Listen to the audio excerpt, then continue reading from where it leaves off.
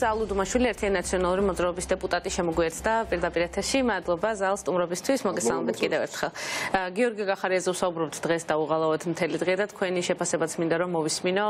ვინ არის ის რა პოლიტიკური ასეთი აქვს ხელში და რა პოლიტიკურ კაპიტალზე შეიძლება რომ სამომავლოდ მან იმუშაოს და იმოქმედოს. ანუ ალბათ თავისი უთქმელობით გახარიამ ყველაფერი თქვა. რეალურად. არაფერი არ თქვა, მაგრამ ყველაფერი გასაგები გახდა საზოგადოების, იმიტომ რომ ის კითხვები, რომელიც არსებობდა საზოგადოებაში და ის მოლოდინი, რომელიც გააჩინა, მოდი გახარია მოლოდინი გააჩინა, ხო, პრემიერებიდან წასვლის შემდეგ და მთელი სამი წლის განმავლობაში ადამიანები ელოდებიან რა სიტყვის გახარია, როდესაც გამოვა. ხო, თავარი კითხვა რა თქმა უნდა იყო 20 იმისთან დაკავშირებით და თავარი კითხვა იყო რა თქმა უნდა მის პრემიერობასთან დაკავშირებით, ხო? პრაქტიკულად არც ერთ კითხვაზე პასუხი არ გაუწია და ამითი თქვა მან რომ ის პრაქტიკულად ყველაფერი იმის თანამონაწილეა ხო რასაც საზოგადოება რასაც საზოგადოებას რაც ეჭვიეპარება ხო? ბუნებრივია და ეს ასეც არის იმიტომ რომ თუ შენს მხარეს სიმართლე არის თუ სათქმელი გაქვს მით უმეტეს როდესაც განაცხადს აკეთებ და იძახი რომ მე მოვდივარ პოლიტიკაში და ოპოზიციური ნიშის დაკავებას აპირებ ხო ამ დროს ყველაზე საუკეთესო დრო არის რომ გულშფელი იყოს საზოგადოებასთან და მას უთხრა სიმართლე. მაგრამ არა ხო გულში გადაწყვეტა რომ კრავ დუმილის ასე ვთქვათ ეფექტი შეენარჩუნებინა, რაც იმაზე მეტყველებს, რომ გასაგები არის უკვე სად არის გიორგი გახარია, ეს არის ქართული ოცნების კიდევ ერთი ასე ვთქვათ დანაყოფი.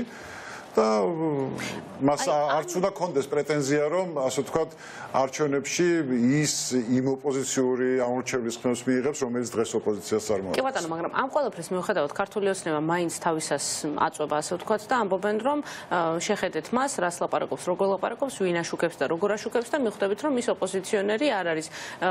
ირაკლი კობახიძემ დაიწყო და მამუკა მდინარაძემ და კახაკალაძემ გაუგზელეს ასე ვთქვათ ეს შინაარსი.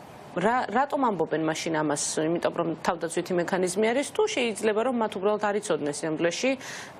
რას აპირებს გიორგი გახარია და ვინმე სხვასთან არის შეთანხმებული. ხო ასე ვთქვათ ქართული ოცნება ჯერ არის ალბათ დაკურვების რეჟიმში გახარიაზე საით წავა გახარია იქნება რადიკალური მათ მიმართ იქნება შედარებით რბილი ისეთი როგორიც გუშინ იყო და სიტყვა ვერ დააძრევინეს ზედმეტი მაგალითად ბიძინა ივანიშვილზე ხო? აქ არის საუბარი იმაზე რომ გუშინ გამოსულიყო და ასე ვთქვათ უცმაწური სიტყვებით მოეხსენებინა ბიძინა ემარიშვილი, მაგრამ კრიტიკის საფუძველი მეგონი ყოფილი პრემიერ-მინისტრი, რომელსაც დღეს ამბიცია აქვს ოპოზიციაში მოდის, კრიტიკის საფუძველი ყოველთვის ექნებოდა გიორგი გახარიას, მაგრამ არა, ხომ ვერ გაბედა, რომ რაიმე გადაბრუნებული სიტყვა ეთქვა ბიძინა ემარიშვილზე.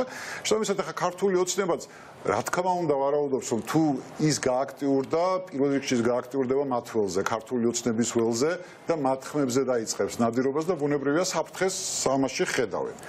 და ალბათ ნუ ეხლა დამოკიდებული იქნება უკვე შემდეგ ნაბიჯებზე როგორი იქნება გახარიას გააქტიურება რა მიმართულებით შესაბამისი რეაქცია იქნება უკვე ბიზნეევანიშვილისგანაც ამ ყველაფერს.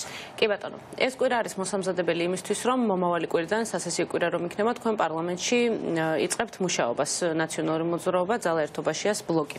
მაგრამ გიორგი უბრალოდ გიორგი კობახიძე კი არა ირაკლი კობახიძე უკვე მეორე და მკვირაში გამოვიდა და თქვა რომ არაფერი აზრი არ ექნება ნაციონალური მოძრაობის შემოსვლას თუ თუ კი ისინი შარლ-მიშელის დოკუმენტს ხელს არ მოაწერენ. მოდით ერთად მოусმინოთ კიდევ ერთხელ ირაკლი კობახიძეს და შემდეგ გავაგრძელოთ საუბარი.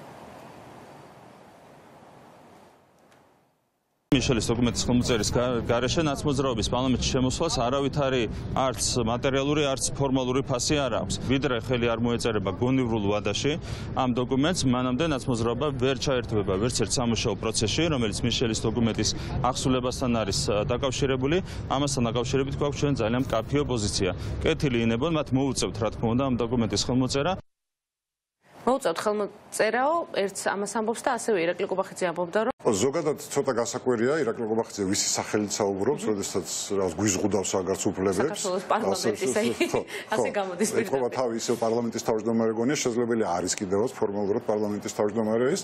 აა იქ ქართულს მასში ხო ასია რეალურად არაფერი პოსტი არ უკავიათ, მაგრამ ყველაფერს მართველები არიან.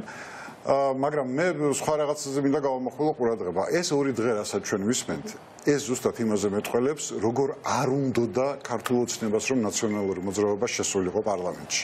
ხოლმე და ხოლმე ამის გამოძახილი არის. წინა დღეებში, როდესაც მიმდინარეობდა, როდესაც ჩვენ ვიმბობთ, რომ აი, გვახლოს დღეებში მივიღებთ გადაწყვეტილებას.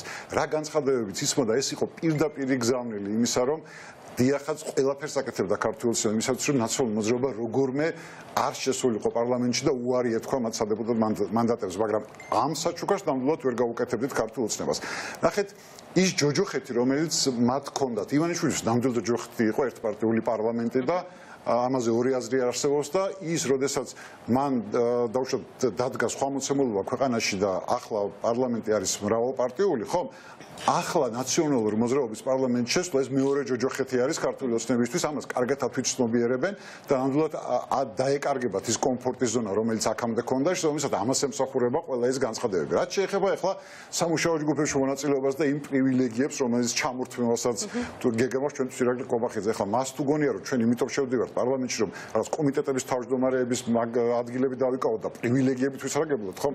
ძალიან ცდებია.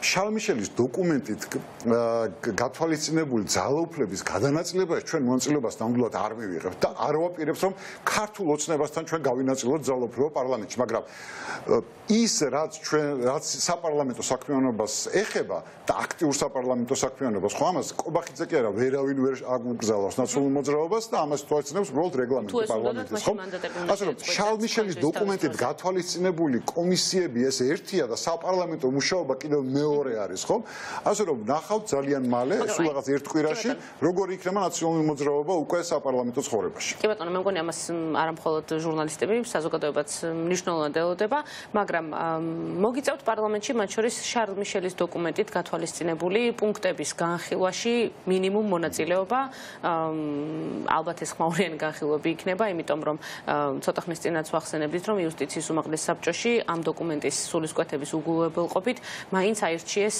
მოსამართლეები.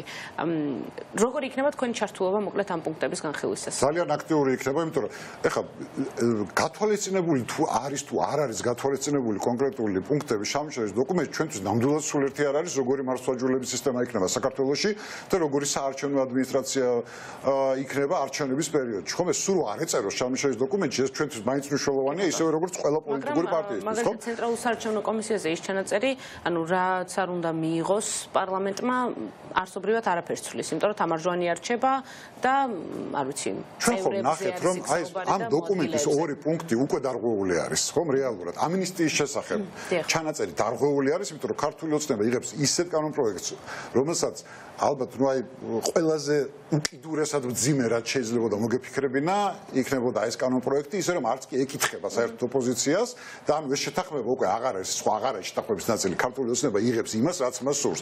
ნახეთ მოსამართლეებთან მიმართებაში რაც მოხდა, ხო მიუხედავად იმისა, რომ განცხადება განცხადებაზე კეთდებოდა როგორც შეერთებული შტატებიდან, ასევე ევროკავშირის საელჩოსგან, ყურად არ იღეს საერთოდ და მაინც გააკეთეს ის რაც სურდა. და ასე შეეცდებიან წაიყვანონ დანარჩენ პუნქტებთან დაკავშირებით. მაგრამ სწორედ ჩვენი მთავარი ამოცანა ახლა პარლამენტში ის იქნება რომ არც ერთი ნაბიჯი არ გაუტაროთ მათ. აი ასეთი გადაწყვეტილების მიღებისას და რეალურად დავანახოთ როგორც საზოგადოებას ასევე ჩვენს საერთაშორისო პარტნიორებს რომ ესენი არიან ჩვეულებრივი კრიმინალური ბანდის წევრები რომელიც არაფრად აგდებენ არანაირ შეთანხმებას და არანაირ მიცემულ პირობას.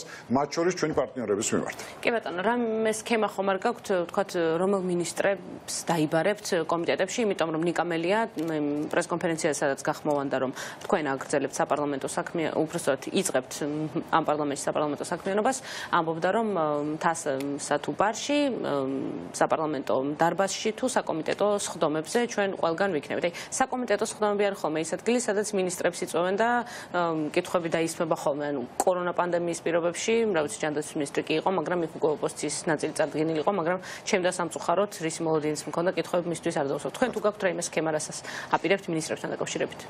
ჩვენ ყველა ყველა მიმართულებით აქტიური ვიქნებით, მათ შეუძლია რა თქმა უნდა კომიტეტების მიმართულებითაც, იმიტომ რომ კომიტეტებში ოპოზიციას ეკუთვნის ადგილები და ბუნებრივია ვიქნებით წარმოადგენელი ამ კომიტეტებში, ეს სურს თუ არა ყობახიძეს იმის და მიუხედავად, იმიტომ რომ ეს არავინ არ ეკითხება არც ყობახიძეს და არც არავის ოპოზიციას ადიქნება წარმოადგენელი, რა თქმა უნდა ყველა მიმართულებით ვიქნებით აქტიური, იმიტომ რომ დრო ძალიან ცოტა არის თვითმართველობის არჩევნებამდე და ძალიან ბევრი რამე არის მოსასწრები, მათ შორის საპარლამენტშიც, ასე რომ რა თქმა უნდა, ჩვენ სამშაბათიდან უკვე სულფასოვნად ჩავერთვებით საპარლამენტო ცხოვრებაში.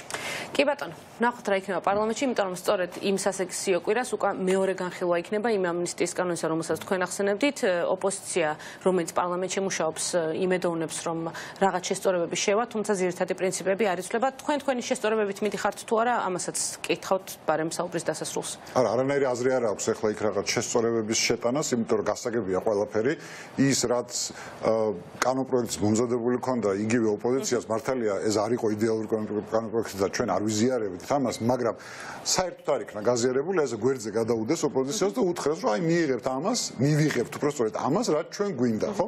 ეხლა იქ შერა შესწორებებს არ უნდა დააყენო, ბუნებრივია არაფერი არ იქნება გაზიარებული, შეიძლება უბრალოდ კოსმეტიკურად რაღაცა გარეგულად გაალამაზოს კანონპროექტი, თორე შინაარსობრივად ამ კანონპროექტში ბუნებრივია არაფერი არ შეიძლება. ანუ ამნისტიის შესახებ ამ ჩანაწერს პარლამენტი დაამტკიცებს მაინც, იმიტომ რომ ქართული ოცნების ხმები ასე ასე ჩანს ყოველ შემთხვევაში ასე ჩანს და აქეთკენ მიდის საქმე, იმიტომ რომ ეს რომ არ დომებოდა ქართულ ოცნებას, მაშინ დღის წესში კი არ დადგებოდა ქართული ოცნების ცალკე და ოპოზიციის ცალკე კანონპროექტი, არამედ შეჯერებული ვარიანტი დადგებოდა უკვე სამუშაო ვითარებაში რომ შეაჯერებდნენ პოზიციას, მაგრამ თავიდანვე გასაგები იყო, რომ არანაირი პოზიციების შეჯერება არ მოხდებოდა და ქართული ოცნება გაიტანდა იმ კანონპროექტს, რომელიც მას სურდა. კი ბატონო, ნახოთ რა იქნება. მომავალი კვირიდან ერთიანი ნაციონალური მოძრაობა ბლოკი ძალა ერთობაში უკვე პარლამენტში იქნება. ზალუდუმაშვილი საუბრობდა ჩვენს ეთერში მადლობა სტუმრობისთვის წარმატებების გისურვებთ. მადლობა მაყურებელს რომ იყო ჩვენთან ერთად. მე 6 საათიანი მთავარი შემდეგ სუსტად 7-ზე სხვა სტუმრებთან ერთად შეგხვდებით